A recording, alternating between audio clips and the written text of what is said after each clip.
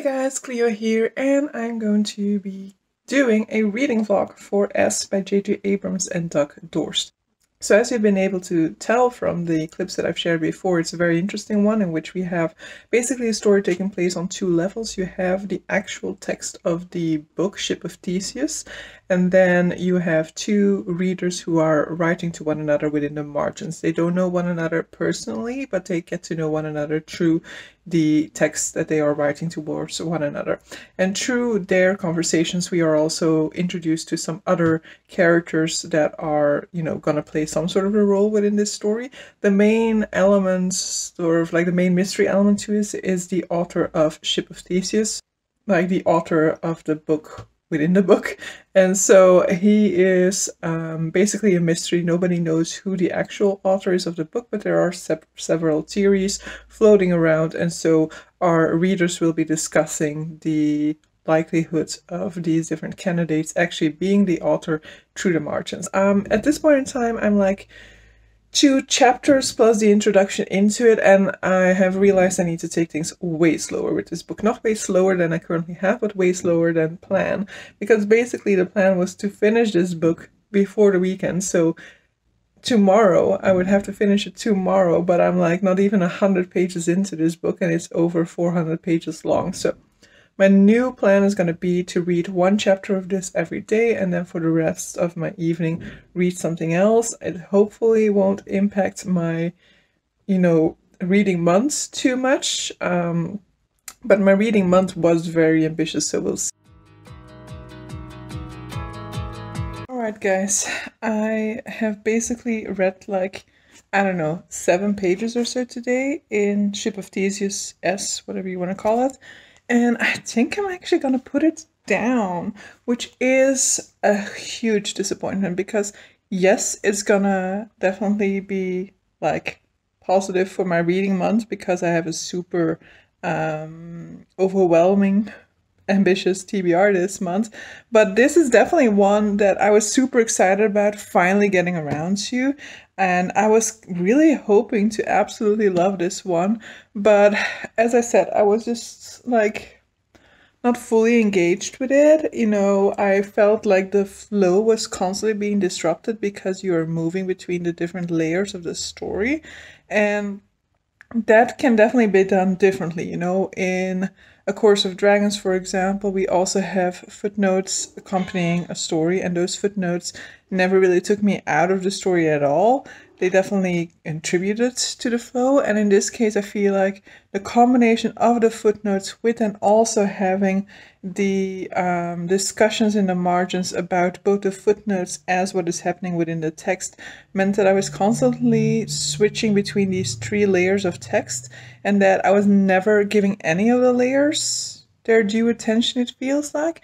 I feel like the most attention went to the margins because I mostly enjoyed reading the conversations taking place within the margins a lot more than I enjoyed the principal story. And in principle, some of the thematic I enjoy. I enjoy the thematic of memory. I enjoy the idea of um, identity. I really enjoyed that whole idea of them looking for an author's identity and, you know, the idea of whether an author's life story, what impact an author's life story and their journey has on the text that they are writing, as well as intertextuality between the different stories that he has written. So I like those aspects of it, but it just never came together to anything that I'm enjoying. And at this point in time, I tried to read like the chapter that I was gonna read today, but like I don't know, five pages in or something, I'm already nodding off. I'm already having to fight sleep. I'm already finding myself really falling asleep, you know, really uh, jolting awake. And these are things that to me really indicate that I'm not having a good time with a book. Yeah, I'm gonna have to say that it's a no for me, which means I have tonight and tomorrow night to still read something other than my current read before Becca's Bookoplathon. Uh, I have already started an audiobook, which I don't think I'm going to talk about um, within this vlog, uh, which will be the book that I'm reading next week. Um, but I will now also attempt to finish The Lost World and Other Stories by Sir Arthur Conan Doyle this week. so yeah, not the update I wanted to give you guys, but you know, we do support DNFing books here. If you're not having a good time, then definitely put the book down, guys. If you are finding it difficult to stay awake while reading a book, maybe this is not a book for you.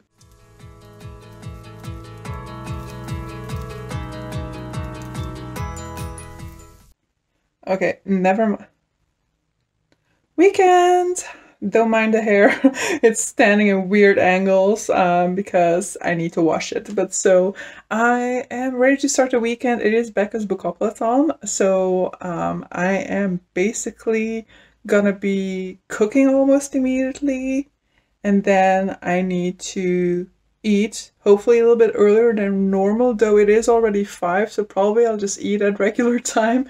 But the idea is that I will get some sleep in before 1 o'clock my time, because 1 o'clock my time is 12 o'clock. This is not 12, it's 12 o'clock Becca's time, so it's the start of Bookoplathon. So I am going to have to go to the grocery store as well because I want some junk food, so I definitely at least want crisps.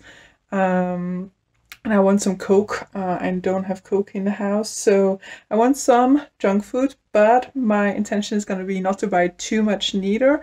Previous attempts at 48 hour readathons have also shown me that I really don't eat a whole lot of extra junk if I'm awake for 48 hours compared to if I'm not.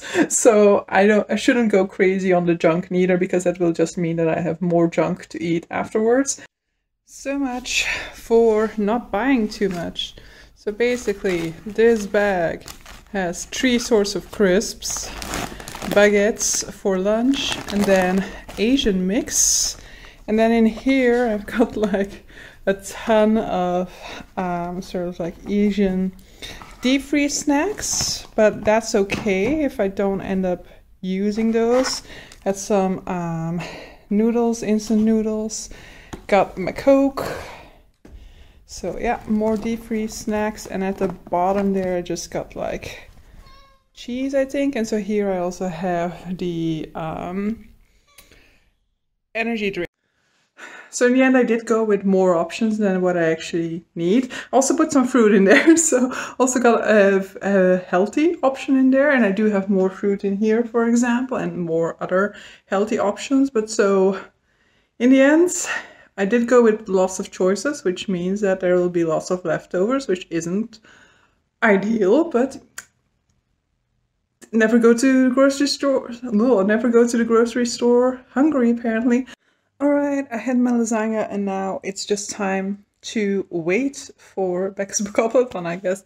I mean, I think I'm gonna stay up for like two more hours probably, just so that digestion can have done its work and things like that and I can be a little bit more tired so then it will be around 8 and it will be 5 hours until Bookoplathon so yeah then I'm gonna try and go to sleep. But I thought that I'd already like set up this weekend for you guys. I don't know which vlog this is going to go into and so I don't know it, it complicates things but let's just talk about it. So in order to set you guys up for Becca's Bookoplathon, I'm going to talk about the books that I'm planning to read. So there are two priority reads for this weekend, and they are both BookTube prize books, which is why I might not talk about them in this vlog, unless this is the BookTube prize vlog. But so um, the first one of these is Heaven by Mieko Kawakami. This is basically a book translated from Japanese. It is um, a book about bullying. It is a very short book, and so for Becca's Bookoplathon, this is actually covering both of the first roles, which is a short book, and it is um, gods because of the title. The title has a link with gods, and so that's enough for me.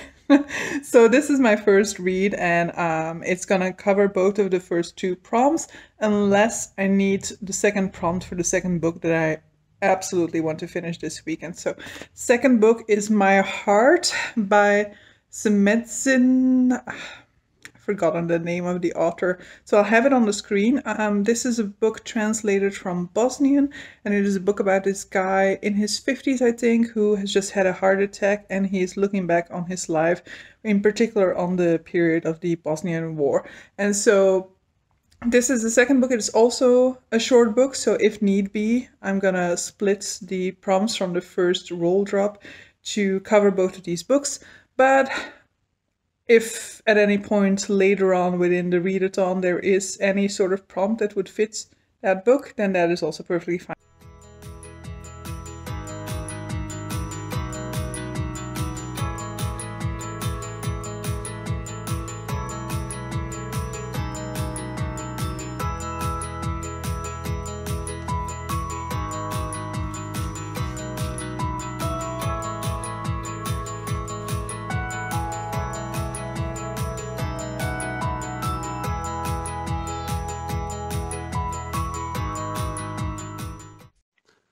Hey guys, oh, that alarm clock was just the worst. I'm really not that awake yet, and my hair woke up on really like the greasy as fuck uh, side of the bed. But so I'm gonna have a shower later when it's like daylight. But I mean, I could use one now, I guess, but I really don't feel like taking a shower in the middle of the night, so uh, we are starting off, as I indicated earlier, with Heaven by Mieko Kawakami. This is a book about two kids who are heavily bullied at school and um, they strike up a friendship. And I'm expecting it to be kind of heartbreaking. It is already kind of difficult to read, so do know that if you have a trigger for bullying, then this will be difficult because I don't necessarily have a trigger for it. It's definitely not content that I like reading, um, but it's I'm like 20 pages in, it's already been difficult to read some of these bullying scenes. Bullying is a huge issue in Japan, apparently. And so a book like this is definitely very important. It's definitely a topic that is uh, important to Japanese society. I've read another book, Lonely Castle in the Mirror, which also addressed school bullying.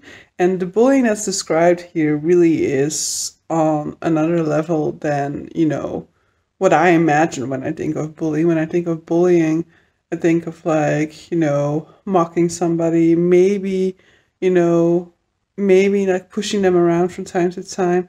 But things that are happening in this one are really on another level sometimes. So do know that going into it. But so yeah, I'm like 20 pages in. I don't know too much yet. So I'm just going to continue, but I am already like struggling a little bit. So one hour into the readathon, I don't yet know when I'm going to go to sleep. I probably might try to sleep a little bit during the next sprints um, and then just go until the morning and then um, wake up again to kind of complete my eight hours of sleep. Um, but we'll see what ends up happening. Maybe I'll feel more awake in like an hour's time and then I'll feel ready to just like keep going for the remainder of the day. We'll have to see. Hey guys, it is Saturday morning, lunchy. No, not totally not lunchy time yet. It is like 9:40. Um, my eye is acting up because I rubbed it too much when I was feeling sleepy. But so uh, I just got into the shower. I had a little bit of sleeping sprints. So basically, from 5 to 8:15 or something, I was asleep. I then had like I did something stupid because right before going to sleep, I set on the alarm for 10 o'clock because I was like, yeah, if I'm back at it at 10 o'clock, I'll be very happy. Um, but I forgot that there's like a alarm that goes off every day that I hadn't turned off yet. And so I had that alarm go off at like 6.30, I guess. And it took me until like 6.45 to realize that that was not the alarm to wake up. So I was like ignoring it, snoozing it, and being like, oh, I feel like I've had zero sleep since laying down again, uh, which was correct because I had only had like an hour and a half max of sleep at that point in time. But so yeah, luckily I did eventually realize, and so I went back to sleep, and then I naturally woke up around eight fifteen, and so. I tried to go back to sleep, but it didn't end up happening. So here I am, awake again. And so, yeah, I'm gonna hopefully still do like a little bit of a nap somewhere in the afternoon because I do, as I said, want to do the 1 to 5 a.m. sprints uh, on Sunday. So for that, I need a little bit more sleep, I think. Uh, or else I'm just gonna be falling asleep during those sprints. But so yeah, uh, uh, up until this point, I got to like page 70 or something like that. So I have around 90 or 95, something like that, pages left to go. So I will probably not be done with it yet before the next roll drop, but I will more or less be done. So it is two o'clock. Uh, we had the roll drops around one, and so the two next prompts are to read an ebook or an audiobook and to read a book with a color in the title, which is the big problem here. But um, I'm gonna sit on those prompts for a little bit. I have some options and you know I also have some like super fast options in case I want to go that route. I think for now I'm just gonna continue like I need to continue Heaven first of all. I still have some 30 pages left in that. And then I'll just continue either already with the second main book for this readathon, or I'm gonna uh, listen a little bit more to The Lost World and Other Stories by Arthur Conan Doyle. I can definitely use The Lost World and Other Stories for both prompts if I want to, but it's like stretching the color prompts because I'm currently reading the Land of Mist is a novella within that collection that I'm currently reading. And if you look for the color mist, it exists. So I can use it, but we'll see. Um, I would like a little bit more of a clear cut um, prompt, but we'll see. Maybe I'll have to do it like that. But so yeah, we'll see how things go on. And um, now I just had lunch. I had an amazing dal, and so I'm ready, re filled up, and so it's time for me to continue reading. All right, I finished my second book. It is 3.30. No, not my second. I finished my first book. I finished the first two prompts. So I finished the first book. It is 3.30 now. Um, and I am about to, you know, switch over to the next one. And I just finished Heaven. I'm not going to talk about my feelings here because this is a booktube prize book. But shortly after this video, like normally within the first half or like definitely within the month of June, my uh, vlogs for the Booktube Prize books will go up and so Heaven's discussion will be in there. It's definitely a very thought-provoking book and so I have quite a lot of thoughts to share on this one. Moving to moving on to the next two prompts for which for the time being I'm going to continue with The Lost World and Other Stories. If that one fits other prompts better later, then I might switch around what prompts fit which book, but that is what I'm currently going to be reading.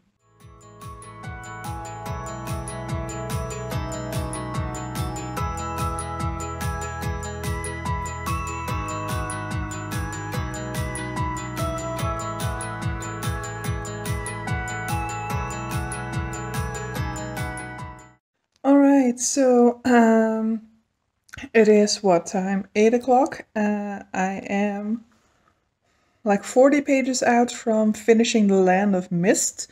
Though ideally, I also want to finish the two other short stories that are still in that collection, but those are like really just like 20 or like 40 pages long each. So that's definitely way more doable. Uh, but probably that, I mean, that's not going to happen anymore today. So I'm considering that that is going to be the final time I read in that book today still. And then I'm going to sit out the remainder of these prompts with my third read, so with My Heart. Um, which I will have on the screen somewhere. And so um, that is hopefully gonna be something that I can fit into some prompts tomorrow. But I think I'm just gonna stay for maybe the remainder of this sprint, maybe still another sprint until the full Becca's sprints are over. But I really need to take a nap before Gavin sprints. I'm having some wine now because wine always makes me super like um, sleepy. So hopefully after these sprints, I will be in the mood to immediately fall asleep and then get a few hours sleep in and then be ready for Gavin sprints.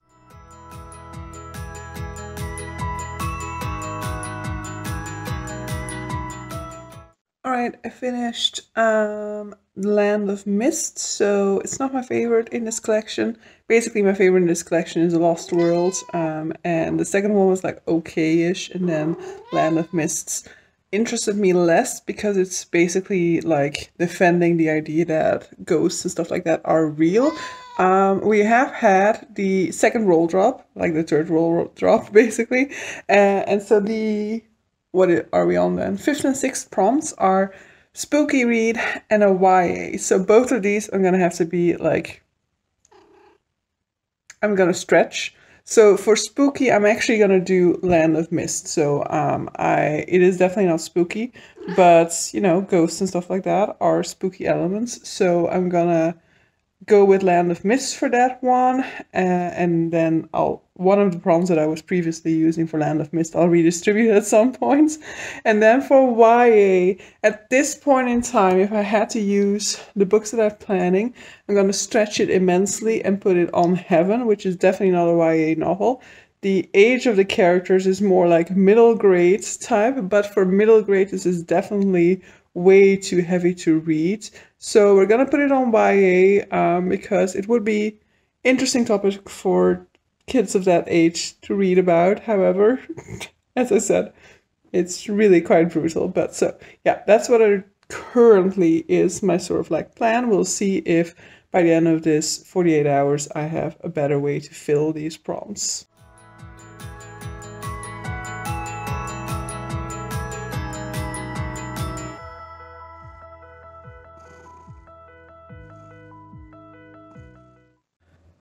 Right, so we just had the roll drops, the final roll drops, and it ain't great. So the first one of those is water on a cover.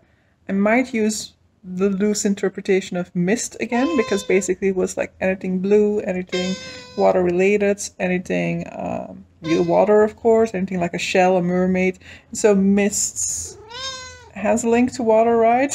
uh, and so I'm gonna use Land of Mist for that, and then I'll see, like, ideally I only want to combine two prompts for everything, so one of the prompts for Land of Mist will need to go to something else, but so yeah, uh, I need to strategically think about this. And then the second prompt was feed scroll. So I went through Instagram and there are two options I can go for. The first one that I stumbled upon was Strange Beast of China, which I have on my Kindle, um, which does not help me towards zero TBR. It is over 200 pages, which is still a little bit ambitious, considering the fact that I still need to read 100 pages in my current read. Um, but it's, I mean, things could have been worse. And then the second option is on Earth We're Briefly Gorgeous, which is the first physical book that I stumbled upon. Uh, and so that would help towards Project Zero TBR. It is also somewhere in the 200 pages, but it is written in verse, so it will be a lot easier to do. So for now, I'm just going to forget about that, and I'm just going to continue reading My Heart. And then uh, once I finish that one, then I will see how much time I still have left and what is the decision that I want to be making.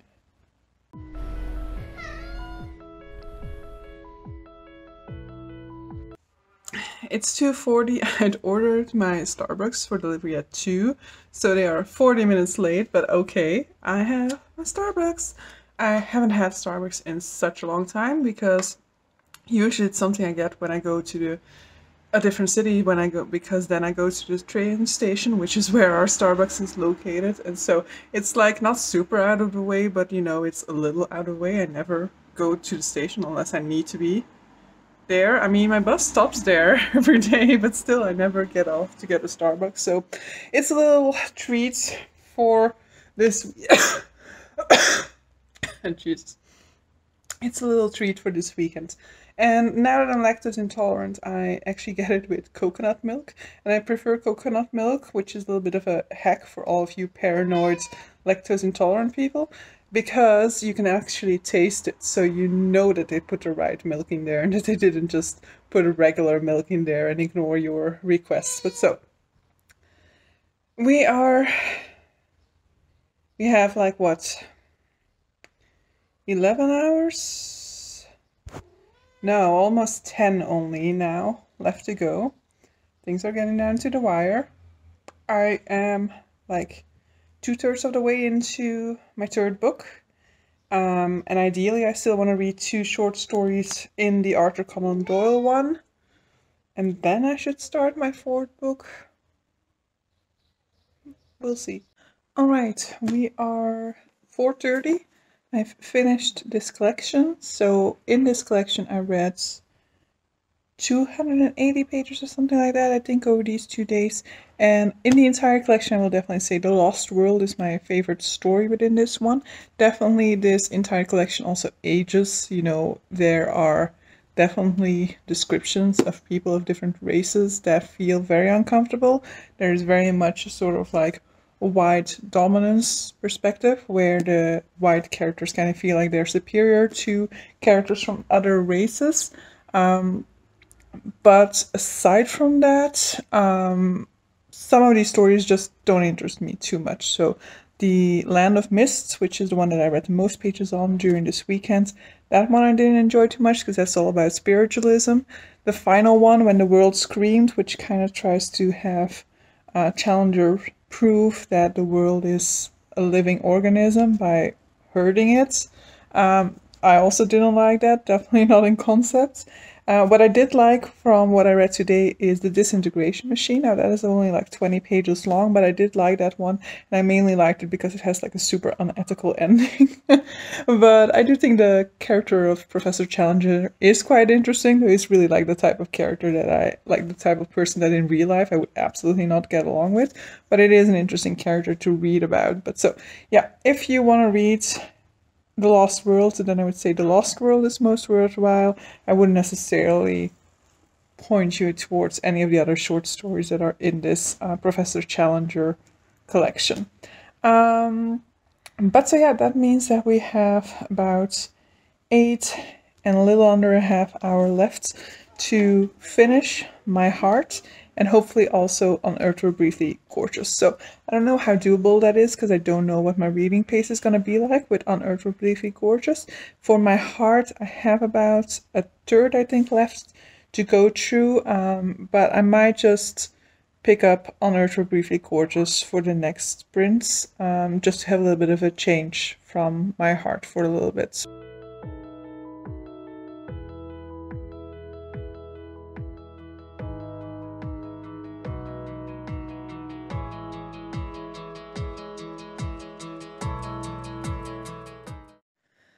Right, 10 o'clock at night, I have finished My Heart. So I have finished the fifth book, let's say, but I did I did count all of the novellas in um, The Lost World separately. So I mean, it's actually the third book, let's say. But so I am also like I don't know, 35 pages or so into um On Earth We're Briefly Gorgeous. I'm definitely not going to be able to finish that today. And I'm also really starting to struggle a little bit. I'm not at the stage yet where I'm really like tired. I'm just tired of reading at this point in time. So I don't know whether I'm going to really push myself at this point further. I'll definitely still be in the sprints, but I think that probably I will just be taking way longer breaks than um, what the reading sprints are intended for. So half of the sprint I'll probably still take, be taking a break rather than reading. Um, but yeah, I will give you an update a little bit later. Um, but so on Earth, On Earth We're Briefly Gorgeous is a book written by Ocean Vuong. It is a letter to his mother. So Ocean Vuong is um, Vietnamese American.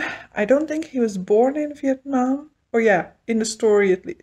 I mean, it is a fictional story, but I believe it's quite autobiographical. And so he is born in Vietnam, but I think he has basically spent almost his entire life in America. Um, his mother has lived through the um, war in Vietnam as well as her her mother.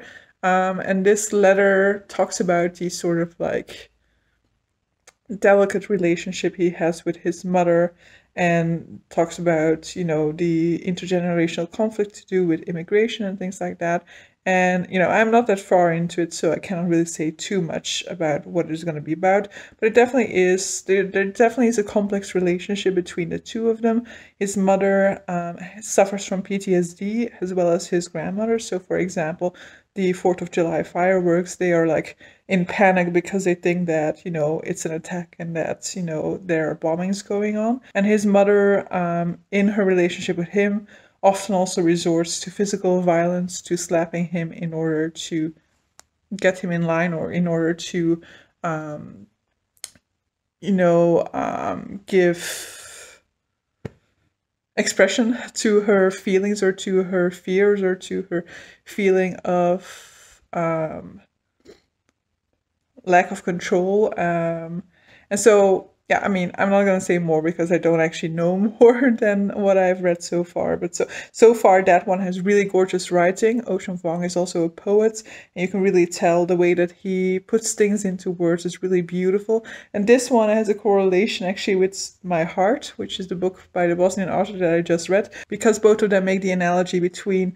the migration of monarch butterflies from Canada to Mexico um, and you know migration of people. So I thought that, that so I thought that that was very interesting that within the course of like I don't know an hour or something I was reading two scenes that were basically making the exact same analogy. So what are the odds? But so yeah, I'm going to be continuing with reading a little bit and then I'll check in with you guys at the end of these sprints.